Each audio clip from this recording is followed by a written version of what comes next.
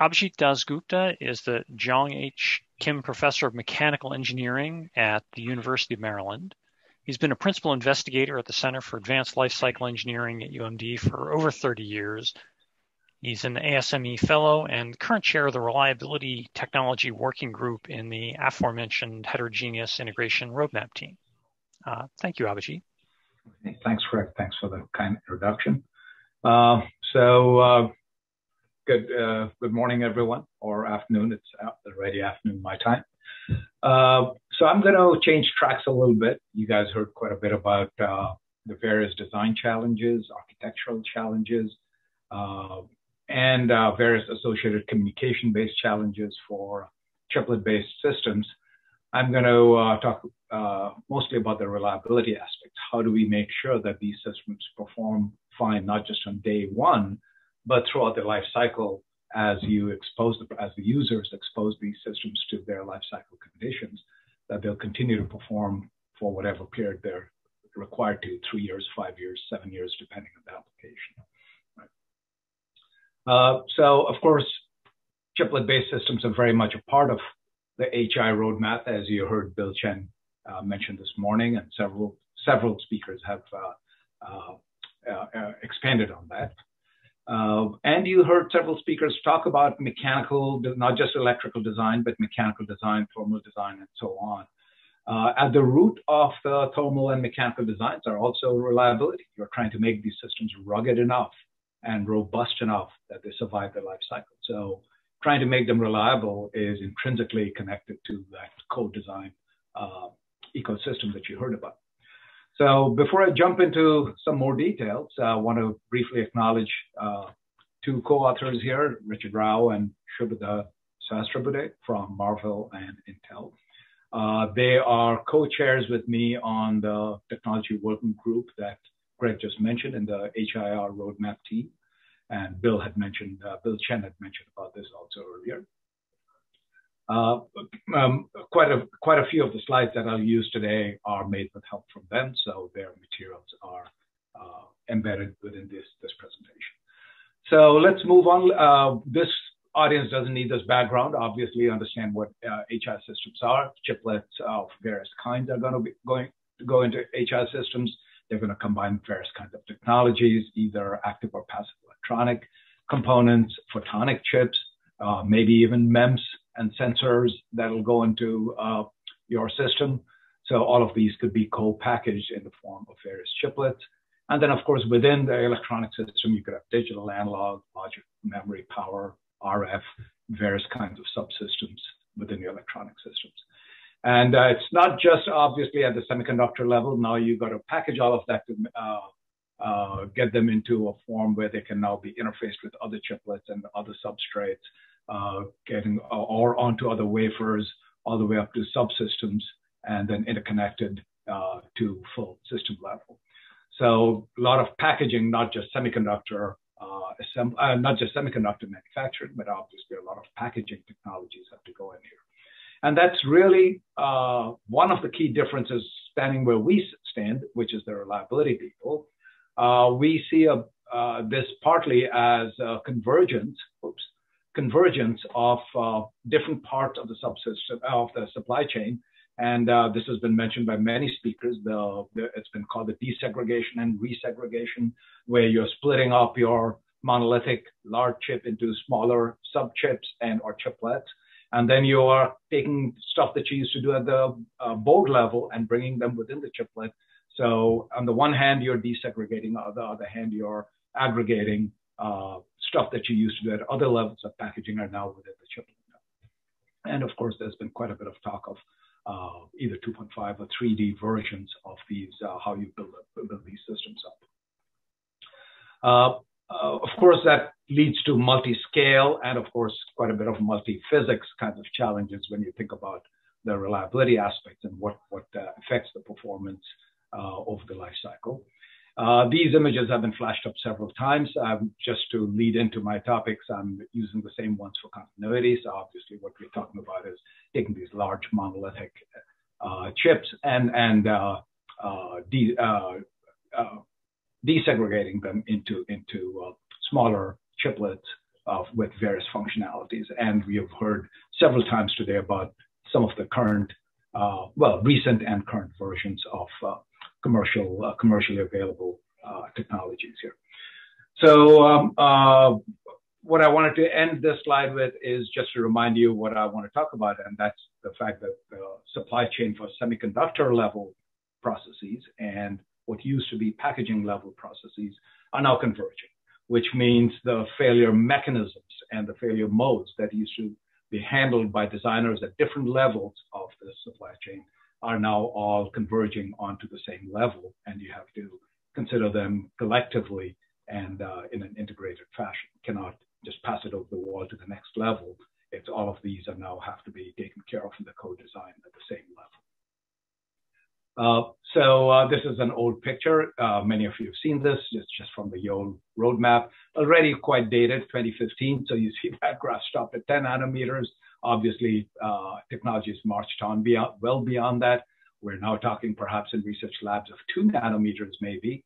Uh, but uh, again, the point is that on the horizontal axis is miniaturization. It's mostly on-chip miniaturization, and uh, that's really more following Moore's law.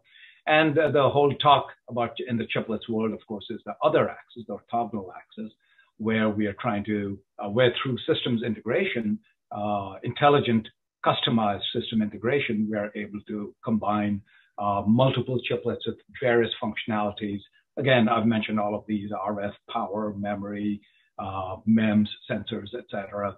All of that can be combined into uh, uh, into more effective uh, subsystems uh, that can perform, continue to perform fast, even if we cannot miniaturize quite as much. Not to mention that that kind of system integration allows us to mix different node, uh, different nodes, and therefore there's significant cost and yield advantages.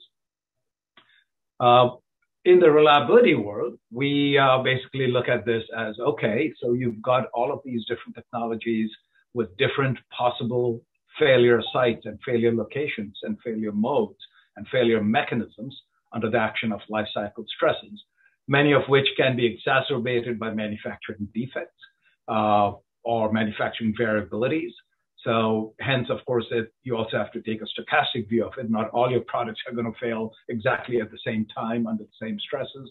There'll be a distribution of failures based on all of the variabilities of your product and the variabilities of the life cycle stresses that, they, that different products see in the field. Uh, hence the statistical failure distributions.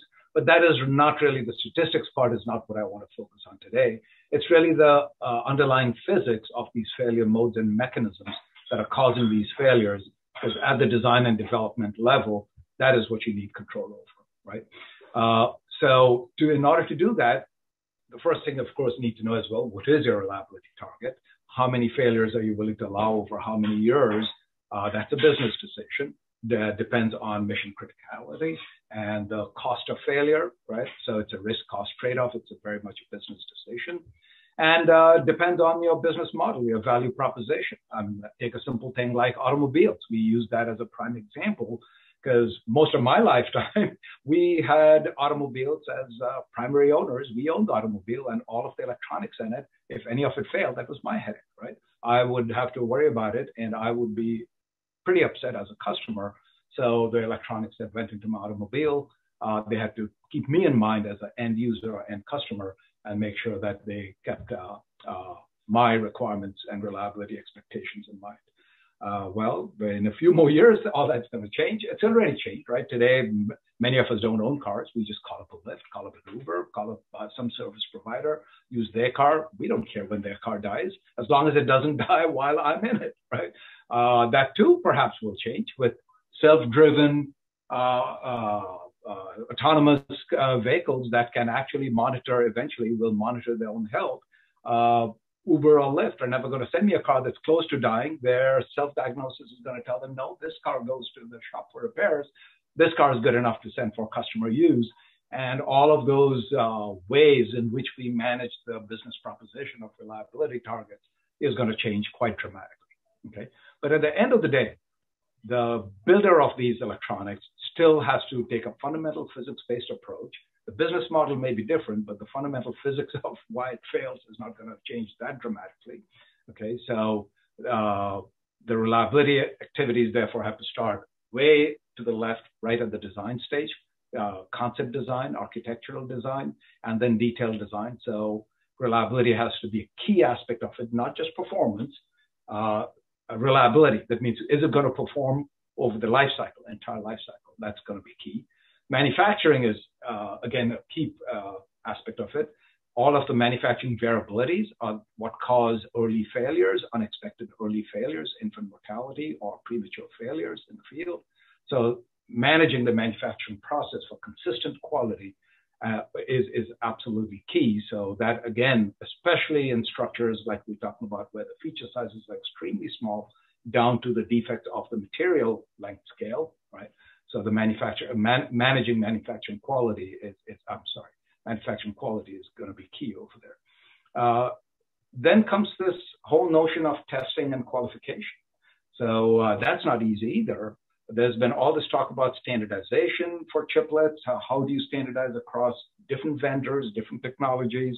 Uh, well, the qualification and testing for reliability is going to be a key part of it.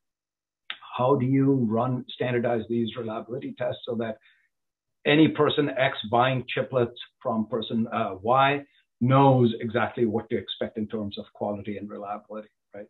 So those standards don't completely exist today.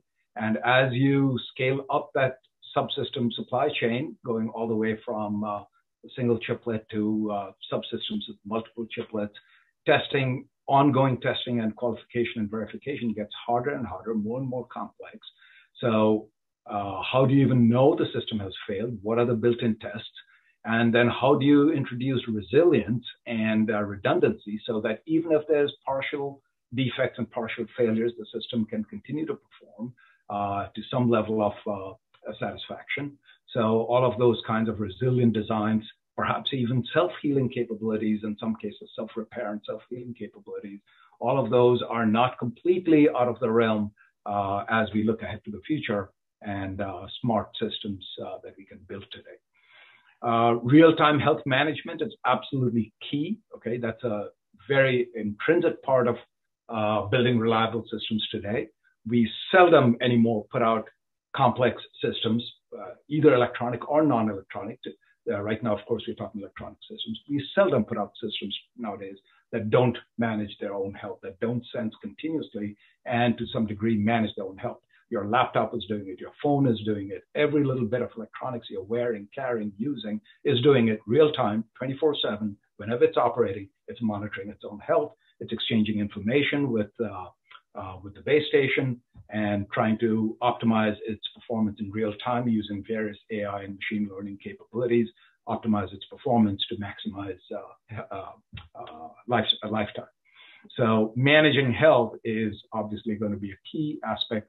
You need real-time sensors, you need real-time condition monitoring, real-time decision making about how do I optimize the performance envelope in order to get the most out of this product and not have uh, sudden death uh, while in operation. Uh, key part of that I already mentioned is the supply chain. Managing that complex chiplet-based supply chain is not at all going to be easy. The old supply chain is dramatically getting reconfigured, partly because of heterogeneous integration and chiplet-based systems. Uh, so reconfiguring that supply chain from, in this case, from the reliability perspective, is is a key challenge that we're dealing with. Uh, so that cradle to grave methodology, that means you start all the way from concept design where you're defining your goals and understanding what the application conditions will be, all the way down to managing the health in real time of a fielded product all the way until retiring or death of that product. That cradle to grave approach is what today's reliability engineers worry about, right? And uh, obviously, it's highly multi-physics. Uh, uh, you've got electrical performance, you've got thermal performance, you've got mechanical performance, you've got chemical contaminants in the in the product from your uh, process and uh, chemicals, as well as uh, from the environment. So you've also got chemical degradation issues. Uh, all of that has to be assessed, designed for, and managed by design, uh, not by accident. Right? And then, of course, the systems are highly multi-scale. You're going from tens of millimeters length scales all the way down to nanometers. uh, well into the intrinsic defect scale of all of these materials. So managing the physics, underlying physics across those multiple length scales is not at all trivial. And today's design engineers or reliability engineers uh, have to be able to have to have the tools and the uh, knowledge base to manage all of that. Uh, so uh, let's let's talk about combining some of this in the whole ecosystem, right? So uh, there's a body of knowledge. Uh, we're going to call that reliability physics. Entire communities of experts that uh, drill in that domain and generate the knowledge needed for mechanical design, thermal design, electrical design. Uh, of course, if you're talking about uh, high energy particle radiation, communication satellites, or base stations that are out in the open environment, uh, you've got uh, radiation problems, and I mentioned already chemical stresses. So uh, designing for all of those stresses uh, based on the fundamental underlying fundamental material behavior and failure degradation mechanisms, that's a key part of the reliability physics community. And then from the other side, we when we talk about highly complex systems and how they're performing in the field or in test, uh, we also talk about learning uh, uh, learning how to connect their performance and their degradation to these life cycle stresses, not necessarily through the basic physics, but uh, you also by machine learning algorithms, neural networks, and other AI techniques, and uh, using utilizing that knowledge also to um, not just manage the life cycle of the current product, but also help design the next generation product. So there's a top-down approach based on condition and real-time condition condition monitoring, data analytics, uh, and AI.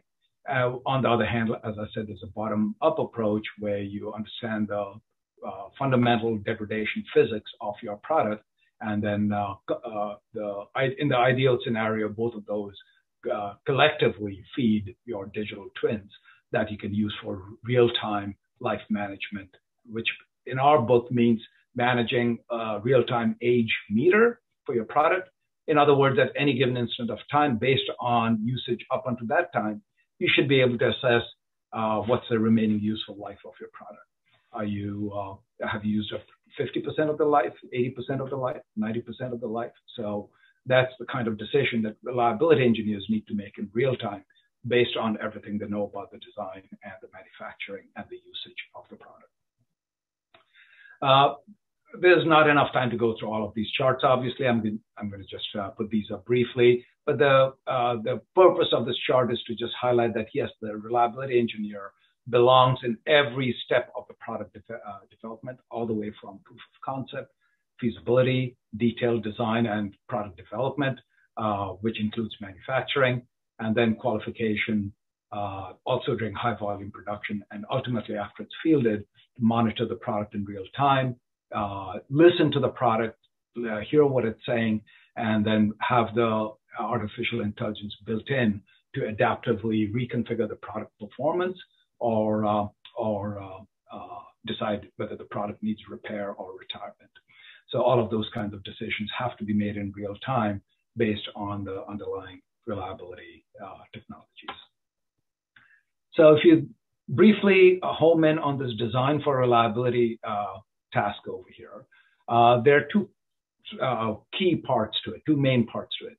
So, uh, what's the question we're asking in design for reliability? So, if I have a, I want to come up with a, give, a, given hardware design which has to survive uh, my reliability targets for a given life cycle expected life cycle loading conditions, uh, how do I view this design in that uh, from that perspective? Well, the two aspects. One is what kind of stresses is this lifecycle loading causing throughout my hardware potential failure sites, which means, again, since the system is multi-physics, there's thermal, mechanical, thermal-mechanical, uh, chemical diffusion of uh, harsh chemicals and moisture throughout the product, and of course, electrical design and electromagnetic design for high frequency systems. So uh, that is the multi-physics stress analysis part, and several speakers talked about it today. There are tools available that, if not completely integrated, but at least can do individual assessments of one or more of these types of stresses. But that tells you doesn't tell you enough about how reliable the product is going to be. The most important question is what do those temperature fields, what do those mechanical stress fields, what do those harsh chemicals or the electrical fields, what do they do to your performance? or more importantly, to the degradation of your performance over time. That's the reliability aspect. That is what we worry about. That's the reliability physics people jump in here and try to understand sustained exposure to these kinds of stresses cause what kinds of problems in your semiconductors, what kind of problems in your various packaging aspects, the interconnections, the substrates, all of that, right? So we try to understand the stress margins, life margins based on that kind of quantitative modeling of failure mechanisms. And then once you've got all that figured out, you have to aggregate up to the system, do sensitivity studies for design for reliability. I won't spend too much time on that. I'd like to instead delve a little bit into this box reliability margins um, and talk a little bit about some of the failure types of failures that dominate in chiplets, chiplet-based systems, and uh, what's the level of knowledge we have over there. So, of course, what we're talking about is chip package interactions here at various levels. That's uh, CPI stands for chip package interactions. So, uh, as we get to the newer and smaller silicon nodes, uh, well, the CPI issues are increasing. Uh, and the old nodes, like I said, the device and the packaging level reliability issues are treated separately in the older nodes. Uh, but now with uh, newer nodes and chiplet-based design, heterogeneous integration, uh, we increasingly have to do co-development of device and the packaging. Uh, and that's why the CPI is absolutely critical now. Uh, in, uh, in conjunction with all of that, we've got newer materials, low-K materials that have various kinds of mechanical fragility, interfacial adhesion issues. We've got much more complex, the high-density substrates that have warpage issues because of the many different kinds of chiplets we're mounting on the same substrate. So that needs careful mechanical and thermomechanical design. We are changing many of our interconnects the, where you're using solders, they're getting smaller and smaller. You're building up copper bumps. That changes the uh, stiffness of the interconnects and strength. That in turn dumps thermomechanical stresses back into the RDL layers and the die active layers. So that causes risks in new areas where we didn't used to have risks. Okay. And then the die itself is, of course, much more complex in some cases, while chiplets is allowing us to move to smaller dies, in some cases we're also moving to bigger dies. And the power management, of course, is key. You have some high power dies, some uh, chiplets, some that are lower power. So the power management is a key part of it. But uh, the power management in turn decides the thermal, thermal and the thermomechanical issues, uh, which is the aspect that the reliability person is interested in. Uh, other kinds of metallization also at risk. You've got layers and layers of multi-layer metallization, a lot of potential failure sites over there. We don't have time to go over all of that. But I'm basically trying to explain to you what is the sandbox for the reliability engineer who is responsible to make sure that the designs being developed for these chiplets-based systems are going to be robust, resilient, fault tolerant, and have sufficient reliability of, uh, to last the entire life cycle. Right? Okay, so this is a this is not my slide. Like I said, many of these slides are borrowed, but these are nice summaries. Yeah, I won't have time to go over all of this, but you'll have access to these slides later on. It's a reasonably nice summary of what are all the various issues where we worry about mechanical, uh, electrical, and thermal aspects of uh, stresses so that we understand their impact on reliability and degradation. So uh, flip chip packaging, 3D die stacks, TSVs, micro bumps, die thinning, all of these have impact uh, on the product performance, not just because you may get failures in interfaces and, and interconnects, but the stresses that some of these TSVs cause directly into your devices, of course, also change your band gap performance and the semiconductor performance itself can change, right? So, uh, and then uh, as your interconnect micro bumps get smaller and smaller, you start running into new issues where in the old days, the solder joints used to be, for example, many grains and somewhat isotropic homogeneous, uh, on a statistically homogeneous uh, over the whole joint.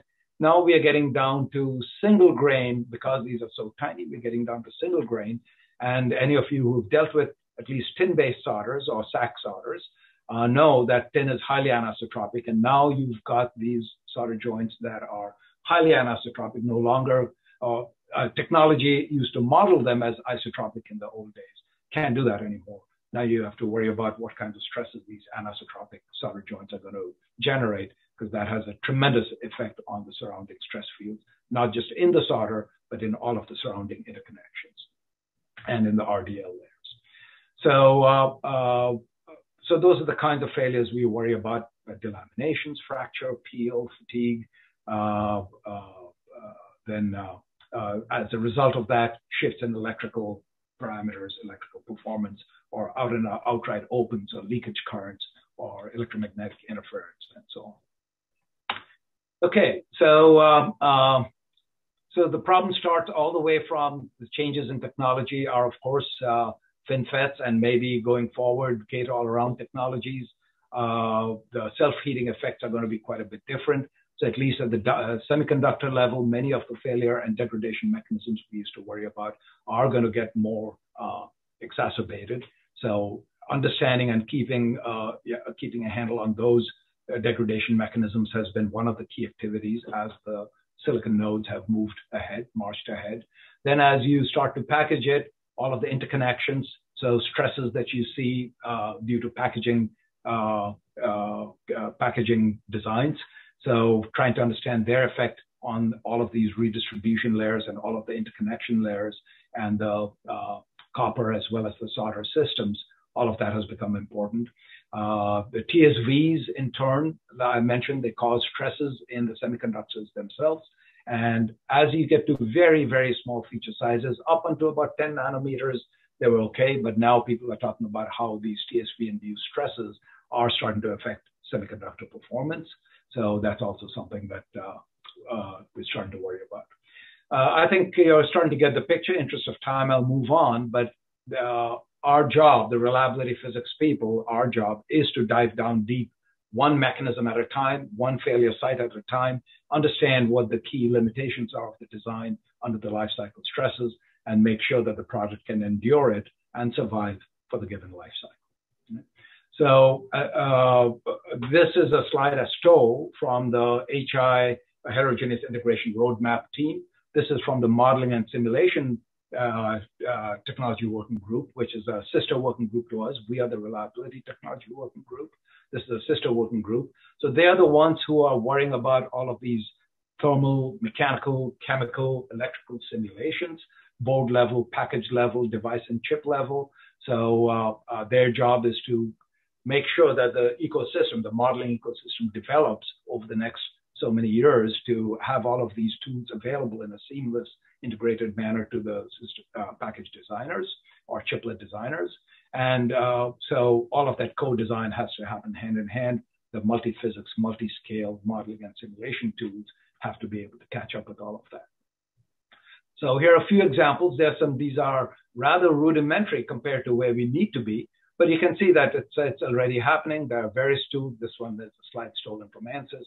So thermal analysis, electrical analysis, thermal mechanical analysis, coupling them all back and forth so they're all talking to each other, uh, uh, integrating the analysis so it's more seamless. Uh, data flow across these analysis tools have to become uh, easier. So all of that work is going on in the background. That was ANSYS. This is Mentor Graphics. Similarly, uh, feature scale, die scale, packet scale, all the way to subsystem level. Uh, all of these tools are slowly developing and growing in sophistication. So that's for the stress analysis. Now the point is, due to all of these stresses, temperatures, mechanical stresses, uh, uh, uh, harsh chemical distributions, moisture distributions, what is the failure at individual sites, right? What is the time to failure at individual sites or design margins? So this chart, I know you cannot read it. This is also taken from our twig in the HI roadmap. And I'll just tell you in words what it has. It has the various failure, expected failure modes and mechanisms each of which have detailed studies and material models and uh, time to failure models. So device level, interconnect level, subsystem and module level. And then the multi-physics is on the other axis, electrical models, thermal models, moisture-driven failure models, thermomechanical models, and so on. So uh, these are sort of trying to capture all of this body of knowledge we're trying to talk about, trying to capture them all on master charts so that we can keep tabs of, okay, which ones have reached what level of maturity as this technology, HI technology, keeps marching on. So this is uh, taken from Richard Rao. I acknowledged him in the beginning. This is, he's tried to make up a simplified view of uh, what's our status. In some places, we have reasonably well-developed models in place uh, that are in various design tools. So those are in dark green. and then light green needs more, more work, and yellows are areas where we need a lot of work. So you can see failure models, failure mo- understanding of failure modes, stress analysis tools, and on the other is the other axis is the length scales, wafer level, package level, uh, and the interactions. So this slide is taken. I'm almost at an end. Uh, this slide is taken from my uh, uh other colleague on this team, uh, uh, Shubhada from Intel. So she works within Intel for knowledge-based qualification of systems, customized qualification tests. So in the world of chiplets, that's going to be very important. How do you standardize chiplets test and at the same time be able to customize the test for different design uh, applications as well as different technologies? So uh, she uh, is working in our team trying to uh, put all of that information together. And uh, this is a huge problem. How do you design, uh, design built-in tests to know when systems have failed in reliability tests? How do you standardize that information so when you pass it on to the next level of the assembly, they know exactly what tests you ran and what the vulnerabilities are. They can quantify those for reliability assessment purposes.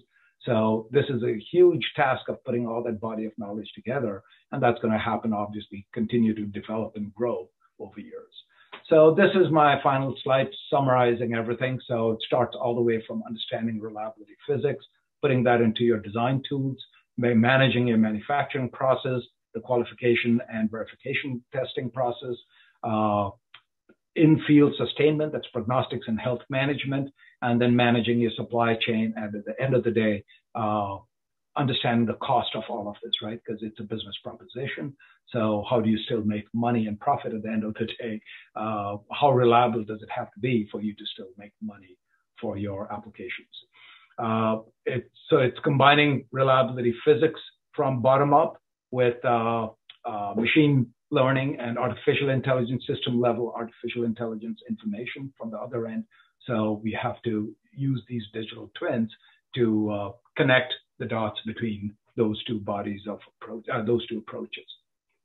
These are just the various application domains that the HI roadmap has to uh, has to uh, deal with, right?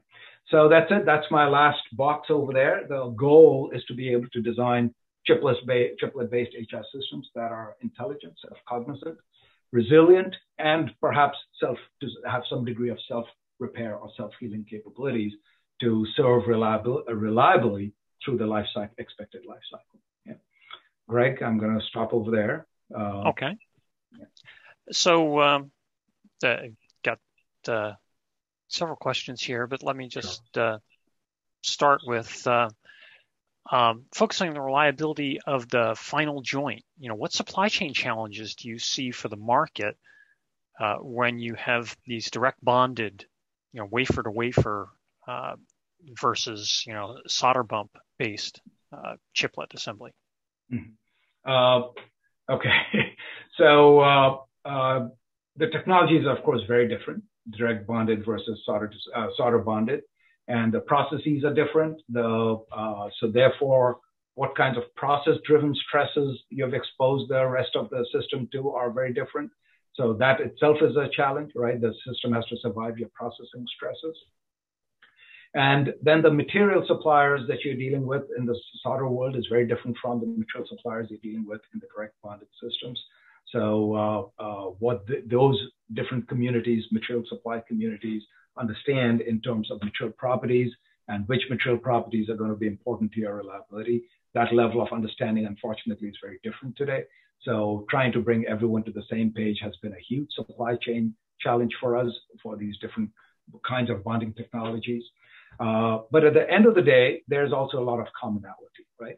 You're talking about life cycle stresses that are going to act over the lifetime of these joints. And these joints have to carry this uh, thermomechanical stresses, in a few cases, just pure mechanical stresses, uh, uh, and electrical. So there's going to be current densities, which means there's electromigration of material, right? Also thermal migration of materials.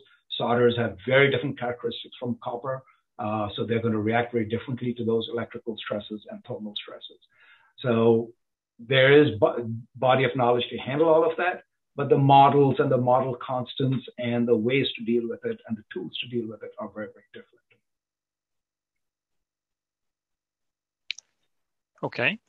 Um, should we perform high temperature operating life burn-in testing for reliability at the chiplet level? You know, can you highlight the pros and cons of doing reliability test at the system level versus chiplet level? Yeah, uh, yeah, that's a, that's always been a challenge. Uh, here's the thing: you cannot do uh, well. Let's take the two extremes of that, right?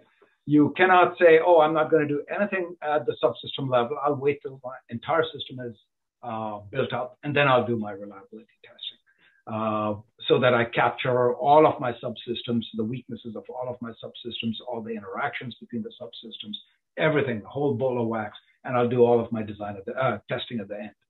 Well, the obvious problem with that is if you do get some failures, how do you root cause it back down when you've got such a complex system? First off, how do you even monitor for degradation for subs of each of the subsystems in there? And second, when you do get failures, how do you root cause it back? It's uh, almost unmanageable task as the system gets beyond a certain level of complexity. Root causing it back is a almost unmanageable task. And the root causing is critical, of course, because that's how you're going to go back and ruggedize your system, understand what the failure mechanism was so you have the right reliability model to extrapolate that to field conditions and so on. So the comp system complexity gets you if you wait till the very end. The other extreme is, well, I'm going to test at every level of my design and every level of my assembly, right? Uh, there the problem becomes, uh, how many times are you going to retest that same system, subsystem as it goes through the assembly process? How many stress exposures is it going to see?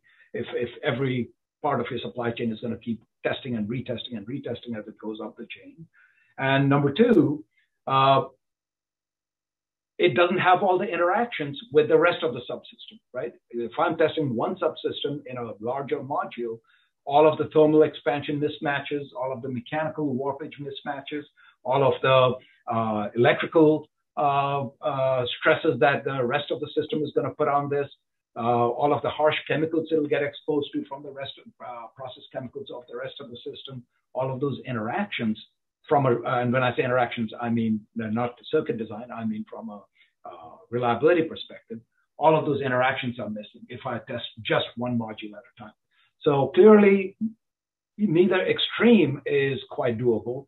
And trying to find that sweet spot at, okay, at how many different levels am I going to retest the system as it goes through the assembly process uh, is almost an art today. We don't have a very good ability to quantitatively optimize that process.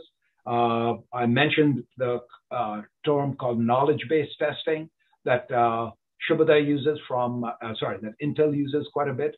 So that is really an attempt to try to do that kind of application-based uh, optimization of how do you test a system. And that includes at how many different levels am I going to test the subsystems ultimately to ensure that when it's all put together, the end system will perform satisfactorily. So I wish I had a clear answer for the person who posed this question. It's an excellent question, but today it's still a bit of an art. Okay, thank you. Mm-hmm. Um, another question we had was, uh, what are the key challenges to increase the density of chips on the package and reduce die spacing? And in this case, one of your co-presenters, uh, Rob Munoz, volunteered to answer that. Oh, wonderful. I'm going to defer to him. It uh, seems to be an architecture design question, so I think uh, I'll let him answer. Sure. And I, I'll freely admit I messed up. I hit the wrong button. I was hoping to type an answer because there's probably other uh, panelists that would also like to weigh in. But I mean, there's, you know, key thing for getting things spaced closely together is obviously the packaging technology, right? Where if you, especially if you can use 3D packaging, you can get things really close together. But then there's other challenges in terms of thermals, power delivery, all mm-hmm. those kinds of mm-hmm. things that were already mentioned. Uh, even with a you know 2.5D type thing like EMIB or uh, silicon interposer type things, you can get things very close together.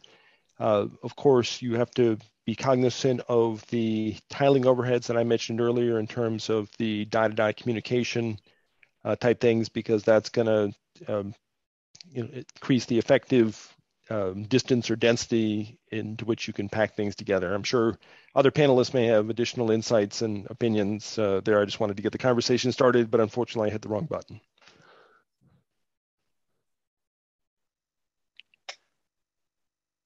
Okay. Uh, I, I, I, think I'll just pick up on that response, just one aspect of that response that I'm qualified to speak on, and that was the thermal part. So that's a very key aspect as you get to denser and denser packaging. Uh, getting all the heat out is absolutely a nightmare sometimes. So uh, that has direct implications on reliability, well, performance and reliability. So my group worries a lot about those aspects. Uh, there's also, of course, as feature sizes get smaller and smaller, as I mentioned, you're getting down to length scales of material defects, intrinsic material defects, and again, the performance uh, and the reliability poses very unique challenges when you get down to those length scales. I'll stop over there. If there aren't any other comments there, I, I think we're probably time for one last question, and then I'll Ira wrap things up. But the, the question is, reliable systems in package need known good dies. We've heard other comments on challenges in known good die, but what are your thoughts on the KGD impact of reliability over lifetime of the product? Right. So uh, I think as the dies get more and more complex, uh, if I'm not mistaken, and uh, there are people better qualified than me to speak over here. Of course, we're no longer looking for zero defects, right? So a known good die today is not one that necessarily boasts zero defects. We do allow a certain amount of uh, defects. It's just that the system design has to be resilient enough to uh, deal with deal with the uh, presence of some degree of defects. Uh, that is true even in chiplets based based systems. You are going to have to live with systems that have uh, uh, for lack of a better word, partial performance. They're not all performing 100%, they're performing partially, maybe 90%, and the design has to be able to deal with that and, and uh, take that into account. I'm going to return this, actually punt this question over now to some of maybe Robert, since you talked about architecture, design architecture. How do you deal with uh, this uh, concept of known good Yeah, I'm sure other panelists would also want to weigh in, but of course, things are in some sense easier when things are being integrated, all come from the same company, uh, that kind of thing. Uh, I think there were some other panelists who had some, some great points on this already, but it's getting things tested so that you have high confidence that things are good. Of course, it's never going to be 100% is very important, as well as the uh, reliability of your associated uh, packaging, assembly, and mm-hmm. test, as I mentioned earlier. So other panelists, I'm sure, can can weigh in as well.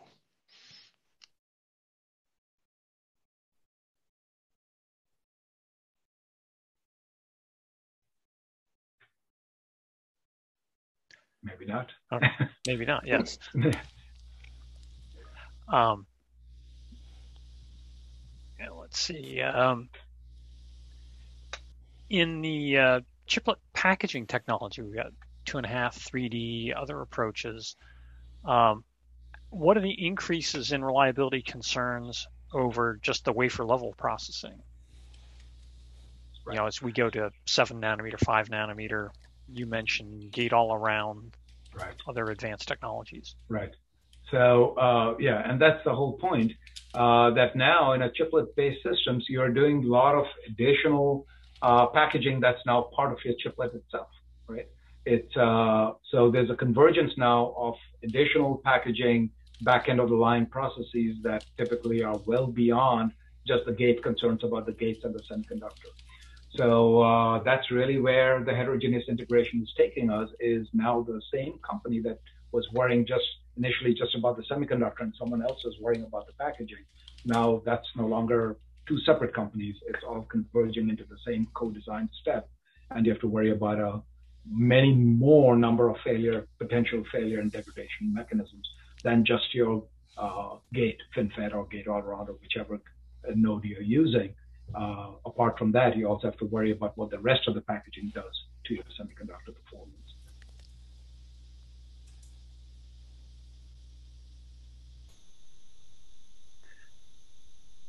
So uh, it, it, seems like successful deployment of chiplets requires a significant increase in the complexity around the understanding of, of dealing with reliability in these heterogeneous systems. Uh, do you feel like the industry broadly is addressing this uh, effectively? You know, where are the biggest gaps remaining? Very good question. Uh, again, I don't think necessarily that we are dealing with new knowledge that we didn't have. Uh, well, to some extent we are. I'll come to that. But the point is that we are really talking about combining bodies of knowledge that existed in different parts of the supply chain. Uh, all of that is now collapsing or converging into the same level of manufacturer or same level of supply chain. Uh, uh, and that is where the, the term integration in HI comes from that. We are integrating multiple steps into the same step over here. So it's really combining different bodies of knowledge now at a common level. And of course, there's also this issue of now the, the interactions, because we are packaging at multiple levels now, the interaction stresses are now very, very different. The kinds of warpages we deal with, the kinds of thermomechanical stresses we deal with uh, are qu- quite more complex. Uh, apart from the fact that also our length scales have all dramatically increased, decreased for interconnect substrates, die, uh, uh, die features for everything. So all of those are playing a uh, uh collaboratively playing a role on uh, how we have to package this knowledge. Uh, but I would say that yes, there are knowledgeable people in that knowledge ecosystem, and those are the people that we're trying to tap in this HI roadmap team that Bill and Ravi and Bill Bottoms, all of them have been harnessing those teams from all over the world, literally. And maybe Ravi can speak a little bit more about that. And that's what the purpose of that roadmap is, is uh, because that roadmap is what's going to drive, as you saw, uh, come, uh, and I'll speak just within my domain, talk about, let's say, design for reliability, right? The Ansyses of this world, the Mentor Graphics of this world. They are creating these tools to make these kind of complex multi-package, uh, multi-level packaging that you need now within your chiplet-based systems they're creating those integrated seamless tools because of, in part, uh, these roadmaps that are being created and that are pointing to that specific need. It's not that they're starting from zero. They were doing a lot of this at different length scales, different material systems, and with discrete tools.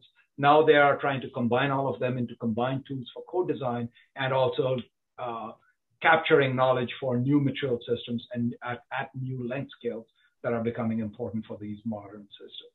Uh, Ravi, do you want to speak a little bit about that? Actually, I'd, I'd like to complement what you said, and there's a question from Tom in the Q and A as well.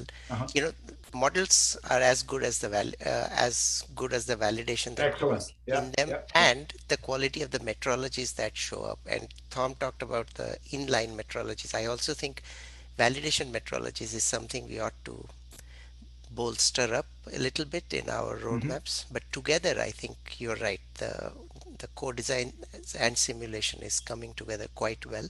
Maybe not as fast as you would like, but it is coming mm-hmm. together mm-hmm. quite well.